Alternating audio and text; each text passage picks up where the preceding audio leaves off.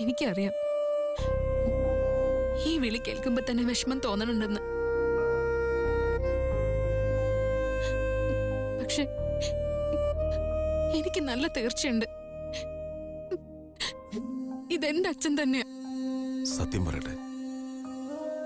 എനിക്ക് നേരിയൊരു ഓർമ്മ മാത്രമുള്ളത് ഒരു ചെറിയ പെൺകുട്ടി എന്റെ മകൾ. അത് നീ തന്നെയാവും.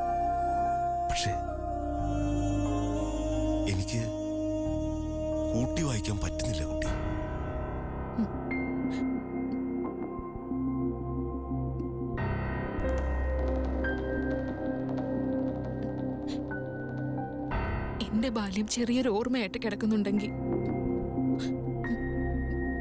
പഴയതെല്ലാം വീണ്ടെടുക്കാൻ പറ്റും. എനിക്ക് ഉറപ്പാ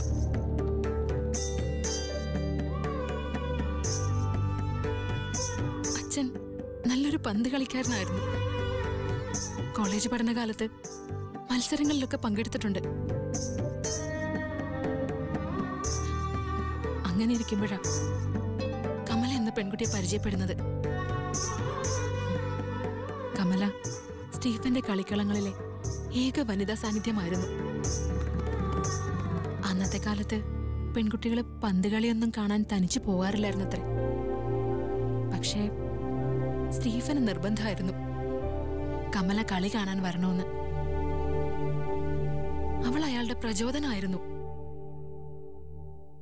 അങ്ങനെ വർഷങ്ങൾ പതിവ് പോലെ കളിക്കളത്തിലെ വലിയ അത്ഭുതം ക്ലാസ് മുറിയിൽ വലിയ തോൽവിയായിരുന്നു. അങ്ങനെ അവസാനം റിസൾട്ട് വന്നു. സ്റ്റീഫൻ തോറ്റ് തൊപ്പിയിട്ടു. കമലയാകട്ടെ ഉന്നത വിജയം നേടി. പിന്നെയും കുറെ പഠിച്ചു. പഠിപ്പിക്കാനായിരുന്നു പുള്ളിക്കാർക്ക് ഇഷ്ടം ഓ ടീച്ചർ. ടീച്ചറായിരുന്നു. എന്തിനാന്നറിയോ?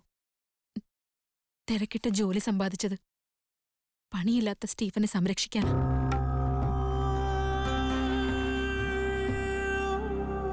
സ്റ്റീഫന്റെ ലോകം മെല്ലെ മാറുകയായിരുന്നു. ആദ്യം കുറേശ്ശെ മദ്യപാനം മാത്രമായിരുന്നു. അതെല്ലാം അയാൾ ഭംഗിയായി മറച്ചു വെച്ചിരുന്നു. കല്യാണം കഴിഞ്ഞപ്പോഴല്ലേ കമല സത്യം തിരിച്ചറിഞ്ഞത്. വേറെയും ചില ലഹരികളൊക്കെ ഉപയോഗിച്ചിരുന്നു.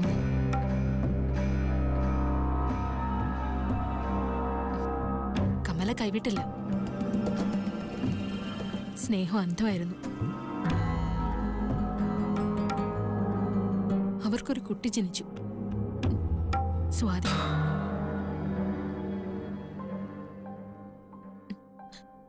ലഹരിയുടെ ഉപയോഗം പിന്നെയും കൂടി. താങ്ങാനാകാത്തവണ്ണമായി ഒരു നാൾ സ്റ്റീഫൻ ഭാര്യയും മകളെയും വിട്ട് ഇങ്ങോട്ട് പോയി.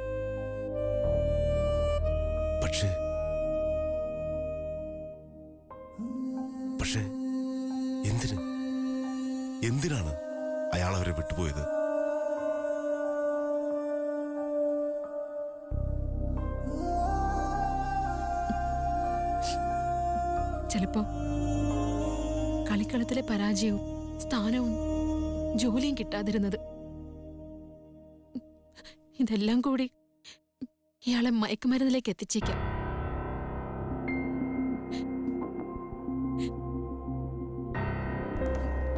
വീട്ടിലെപ്പോഴും വഴക്കായിരുന്നു. അമ്മയെ പലപ്പോഴും തല്ലുക പോലും ഉണ്ടായി.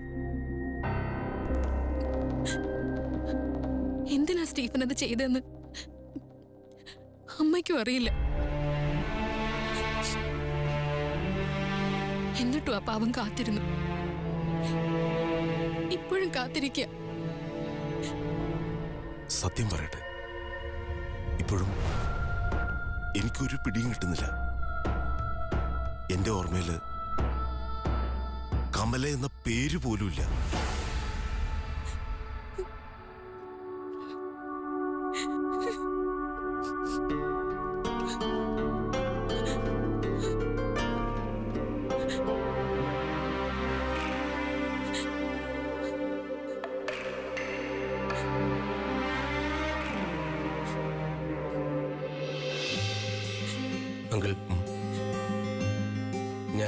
ഷാനു ആ തൊട്ടടുത്ത വീട്ടിലുള്ളതാ. അങ്കിളിന് എന്നെ ഓർമ്മയില്ലേ? ഞാനും സ്വാതിയും കളിക്കൂട്ടുകാരായിരുന്നു. എനിക്ക് നിങ്ങൾ പറയുന്നതെല്ലാം മനസ്സിലായി. പക്ഷേ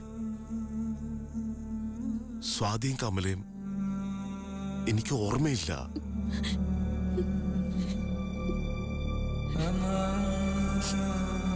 അതൊന്നും അതൊന്നും സാരില്ല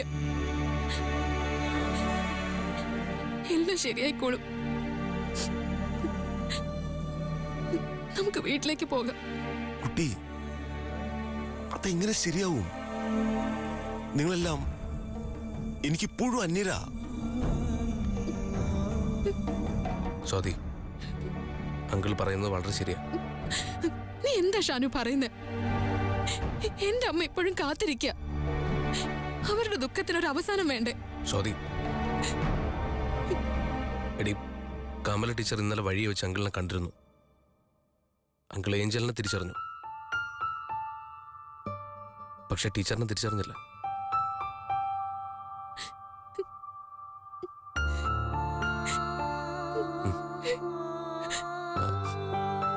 ഞാൻ ഒരു കാര്യം പറയട്ടെ? നമുക്ക് ഈ വിഷയം സ്വാമി അറിയിക്കാം. അദ്ദേഹം എന്തു പറയുന്നു നോക്കാം. എന്താ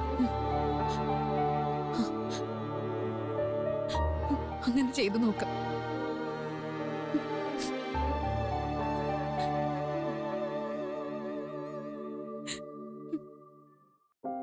അച്ഛ. നമുക്ക് ആശ്രമത്തിലേക്കൊന്ന് പോയാലോ? പോവാം. എന്തായാലും എനിക്ക് അങ്ങോട്ടാ പോണ്ടത്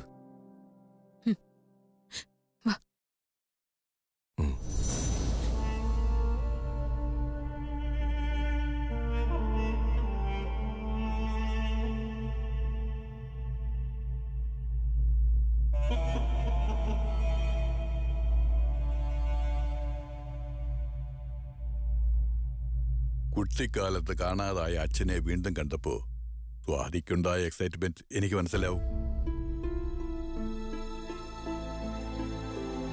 പക്ഷേ ഒന്നും ഓർമ്മയില്ലാത്ത ആ മനുഷ്യന്റെ ഭാഗത്ത് നിന്ന് ഒന്ന് ആലോചിച്ചു നോക്കൂ.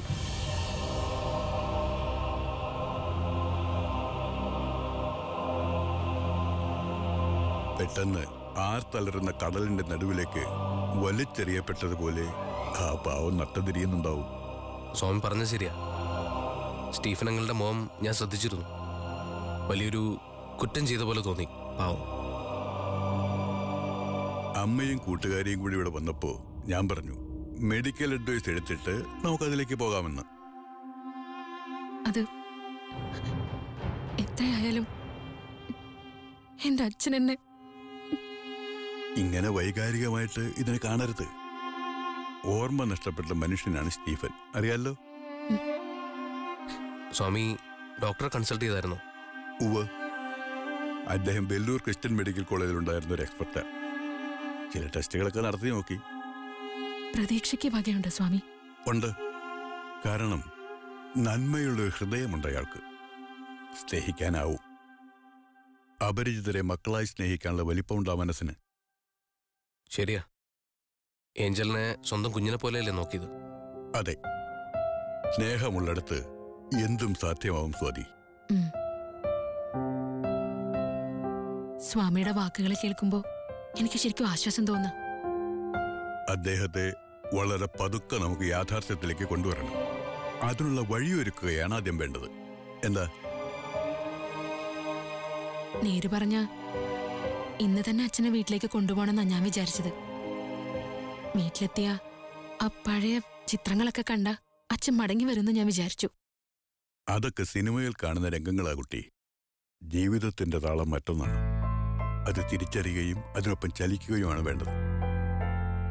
അല്ലെങ്കിൽ സംഗീതം നഷ്ടപ്പെടും. എനിക്ക് മനസ്സിലായി സ്വാമി. അങ്ങ് പറയുന്നതൊക്കെ ചെയ്യാം. കാത്തിരിക്കാൻ തയ്യാറാ.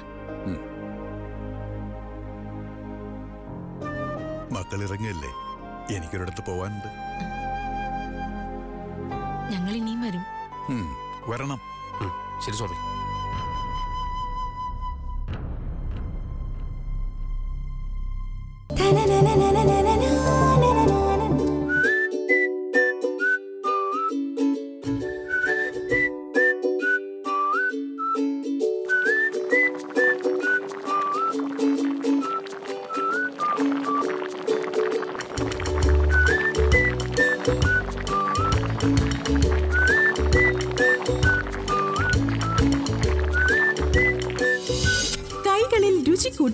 വാക്കുകളിൽ രസക്കൂട്ടുകളുമായി ഒരു വലിയ അടുക്കള. Annie's kitchen. ശനി ഞായർ ദിവസങ്ങളിൽ രാത്രി ഏഴ് മണിക്ക്.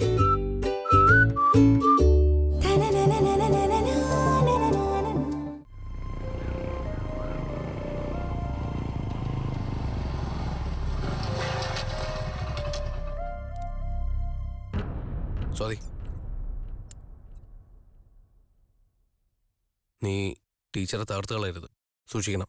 കേട്ടല്ലോ? ചെല്ല.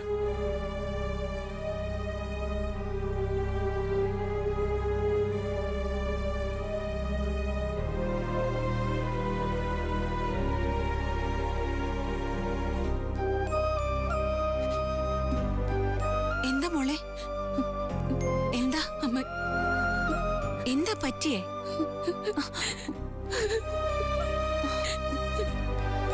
സ്വാതി. എന്താ മോളെ? പറ എന്താ നിനക്ക്? ടീച്ചറെ സ്വാതി ഇന്ന് സ്റ്റീഫൻ അങ്കിളിനെ കണ്ടു.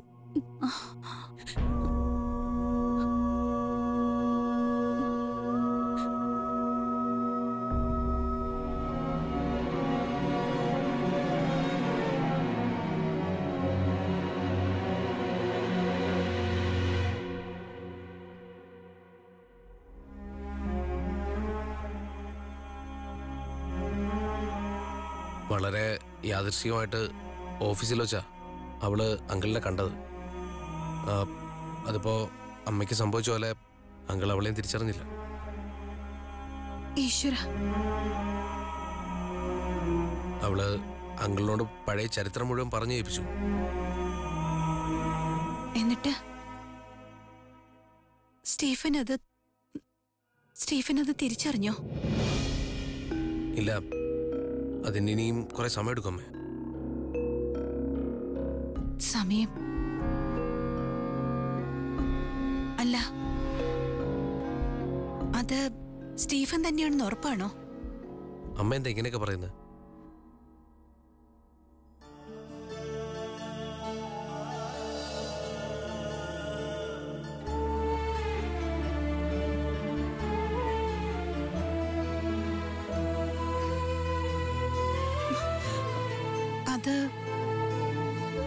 ഛായയിലുള്ള മറ്റാരെങ്കിലും ആയിക്കൂടെ? അല്ലമ്മ അതെന്റെ അച്ഛൻ തന്നെയാ. എനിക്ക് ഒരു സംശയമില്ല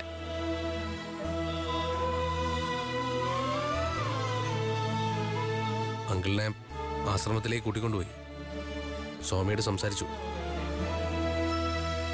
തമാശ എന്താന്ന് വെച്ചാൽ ആനന്ദനെന്ന് സ്വാമി പേരിട്ട ഈ കക്ഷിക്ക് ജോലി വാങ്ങിച്ചു കൊടുത്തത് ഇവൾ തന്നെ അതെല്ലാം ഏതോ വിധിയുടെ ഇടപെടൽ പോലെ എനിക്ക് തോന്നുന്നു. പലവട്ടം ഞങ്ങൾ ആശ്രമത്തിലേക്ക് പോയപ്പോഴും അച്ഛൻ അവിടെ ഉണ്ടായിരുന്നിരിക്കണം. അതെ ഏഞ്ചലിനെ കാണാതെ പോയപ്പോഴും പുള്ളിക്കല്ലേ കിട്ടിയത്? അത് തന്നെ വലിയൊരു മിസ്റ്ററി അല്ലേ? സ്വാമിയെ കണ്ടോ നിങ്ങൾ? ഞങ്ങളൊരു ധാരണയിലെത്തിയിട്ടാ വന്നത്.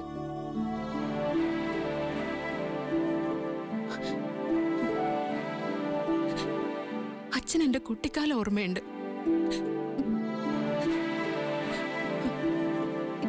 എനിക്ക് ആക്രമണം ഉണ്ടായ രാത്രി.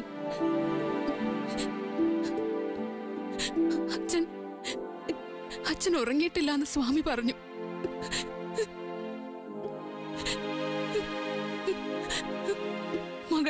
വരുന്നെന്ന് പറഞ്ഞ് അച്ഛൻ കരഞ്ഞു ഉത്ര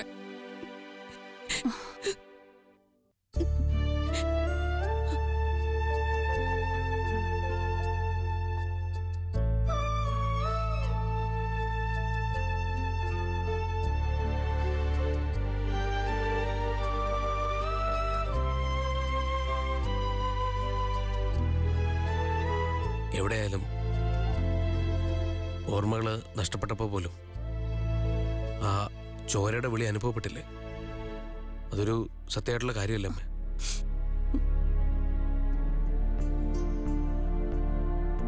അത് സ്റ്റീഫൻ അങ്കിൾ തന്നെ.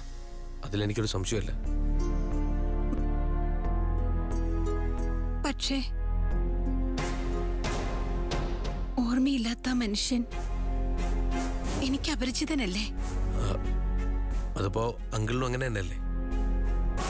ടീച്ചർ ഒരു ടോട്ടൽ സ്ട്രേഞ്ചറാണ് അത് മാറി വരാൻ സമയമെടുക്കും.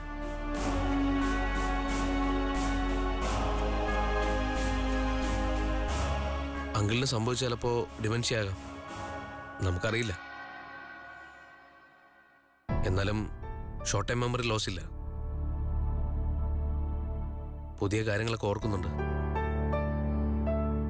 എന്തായാലും നല്ലൊരു ന്യൂറോളജിനെ കാണിച്ചിട്ട് അതിനനുസരിച്ച് നീങ്ങാമെന്നാണ് തീരുമാനം. അവക്ക് അങ്കിളിനെ കൈയോടെ കൂട്ടിക്കൊണ്ടുവരണമെന്നുണ്ടായിരുന്നു. പക്ഷെ സ്വാമിയാ പറഞ്ഞത്. പാടെ പാടെ മുറിഞ്ഞു പോയൊരു ബന്ധത്തിലേക്ക് കൊണ്ടുവന്ന. കടലിലെടുത്തെറിഞ്ഞ പോലെ അങ്കിൾ വല്ലാതാവുന്നു.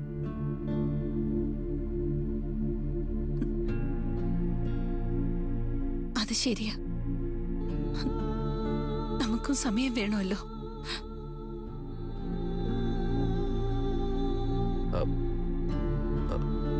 കാര്യങ്ങൾക്ക് ഒരു ധാരണയായ സ്ഥിതിക്ക് ഞാൻ ഇറങ്ങാം.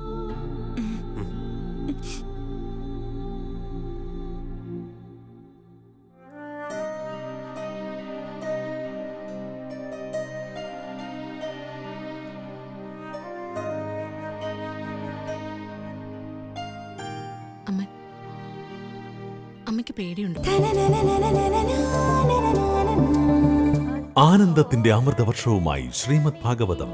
ചോസ്മിതം ഇന്ദിരാ.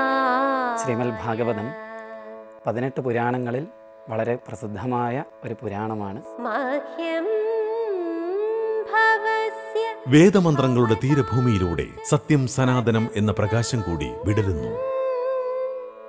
വേദത്തെ സംബന്ധിച്ച് വേദം ഉദ്ഘോഷിക്കുന്ന സത്യം എല്ലായിടത്തും എത്തിക്കാൻ വേണ്ടി അനുസ്യൂതം പ്രയത്നിച്ചവരാണ് ഈ ഋഷിമാർ.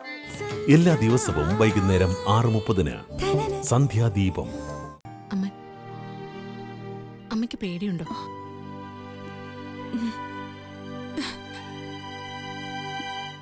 സത്യം പറഞ്ഞുണ്ട്. നമുക്കിടക്കവിടെ ചെല്ലാം. പഴയ കാര്യങ്ങളൊക്കെ പറഞ്ഞ് തിരിച്ചു കൊണ്ടുവരാൻ നോക്കാം.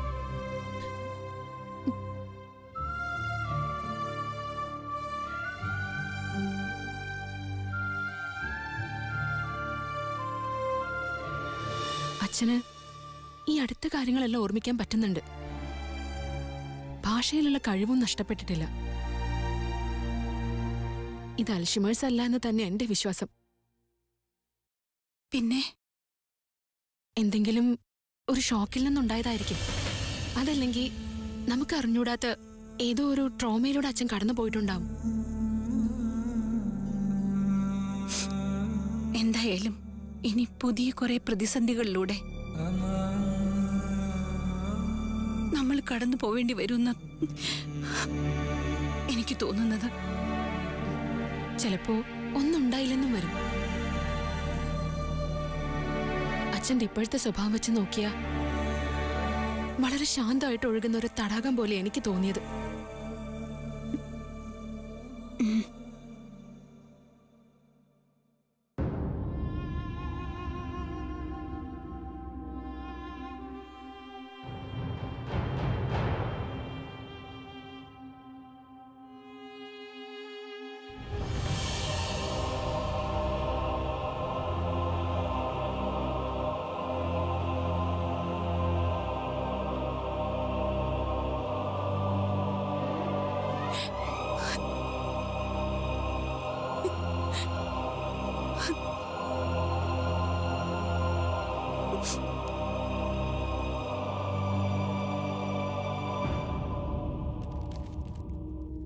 രഘുവേട്ടാ അച്ഛൻ വന്നില്ലേ? ഏയ് ആനന്ദേട്ടൻ എത്തിയിട്ടില്ല. എന്നിട്ടെന്താ വിളിച്ച് അന്വേഷിക്കാത്തെ? എന്തേലും വയ്യായികയാണോ. ഓഫീസ് ക്ലീൻ ചെയ്യുന്ന ചേച്ചി ഇന്ന് വന്നിട്ടില്ല. ഞാൻ അതും വിളിച്ച് അന്വേഷിച്ചില്ല. ഇരിക്കേ. ഓ എന്നെ ഒന്ന് കുത്തിയതാണല്ലേ? രഘുവേട്ടൻ ഇത് കണ്ടോ? ഞാനും അമ്മ അച്ഛനുള്ള പഴയ ഫോട്ടോസാ. മിക്കവാറും ഇത് കണ്ട അച്ഛൻ ഓർമ്മ തിരിച്ചു കിട്ടുമായിരിക്കും എനിക്ക് ഉറപ്പാ. അതാ ഞാനിത് കൊണ്ടുവന്നേ.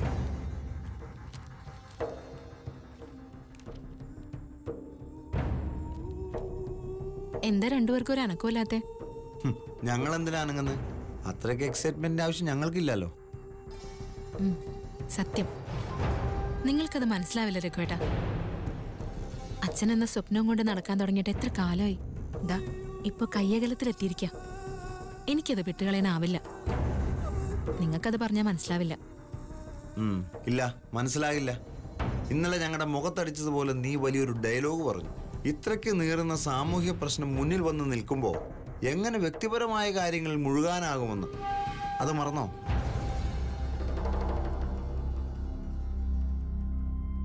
അത് പക്ഷേ വിവാഹമോചനത്തെ കുറിച്ച് പറഞ്ഞപ്പോഴാ. സ്വാതി ചിലപ്പോ ആ ചർച്ചയിൽ നിന്ന് രക്ഷപ്പെടാൻ വേണ്ടി പറഞ്ഞതായിരിക്കും. ഒന്നുമല്ല. ഇപ്പോഴും എന്റെ നിലപാട് അത് തന്നെയാ. പക്ഷെ കാണാൻ കൊതിച്ചിരുന്ന അച്ഛനെ മുന്നിൽ കണ്ടപ്പോ എന്റെ സമനില കൈവിട്ടുപോയി. അത് സ്വാഭാവിക. അതത്ര എളുപ്പത്തിൽ പറഞ്ഞു തീർക്കാവുന്ന കാര്യമല്ല. ഒരിക്കൽ ആരോ പറഞ്ഞു എന്റെ അടിസ്ഥാനപരമായ പ്രശ്നം ഒരു ഫാദർ ഫിഗർ ഇല്ലാത്തതാണ്. അച്ഛൻ മരിച്ചുപോയി എന്ന് ഉറപ്പുള്ളവർക്ക് ഈ കുഴപ്പമില്ല. ഇതിപ്പോ vanished into the thin air എന്ന അവസ്ഥയല്ലേ? ഇവിടേക്കോ മാഞ്ഞുപോയി.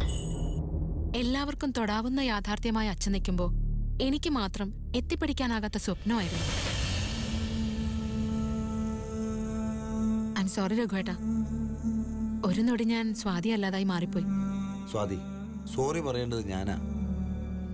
ഞാൻ നിന്നെ വേദനിപ്പിച്ചില്ലേ? ഇറ്റ്സ് ഓക്കെ നമുക്ക് പ്രശ്നത്തിലേക്ക് വരാം. രാഹുൽ പറയും. ഒരു കൊച്ചു പെൺകുട്ടിയെ ക്രൂരമായി ആക്രമിച്ച് കൊലപ്പെടുത്തിയ സംഭവം. സമൂഹത്തെ ഒന്നാകെ വേദനിപ്പിക്കുമെന്നാണ് നമ്മൾ കരുതിയത്. പക്ഷേ ആ കൊലയാളികളെ സംരക്ഷിക്കാൻ ചിലർ ഇറങ്ങിയിട്ടുണ്ട് അതാണ് ഇപ്പോഴത്തെ പ്രശ്നം. ഇന്നലെ വരെ ആ പെൺകുഞ്ഞിന്റെ കൊലയാളികളെ സമൂഹം ഒറ്റപ്പെടുത്തിയാ നിർത്തിയത്. ഇതിപ്പോ അവർക്ക് പിന്തുണ കിട്ടിത്തുടങ്ങിയിരിക്കുന്നു. ഇതിപ്പോ ജർമ്മനിയിലൊക്കെ നിയോനാസിസം വരുന്നത് പോലെ ആയല്ലോ. പക്ഷെ നമ്മുടെ നാട്ടിൽ സംഭവിക്കുന്ന കരുതിയതല്ലോ അതൊന്നുമില്ല രാഹുൽ. നാട് ഏതായാലും മനുഷ്യർ ഒന്ന് തന്നെയാ. പുറമേയുള്ള മാറ്റങ്ങളല്ലേ? അതിരിക്കട്ടെ നമുക്ക് എന്ത് ചെയ്യാൻ പറ്റും? എന്താ രഘുവേട്ടന്റെ mode of operating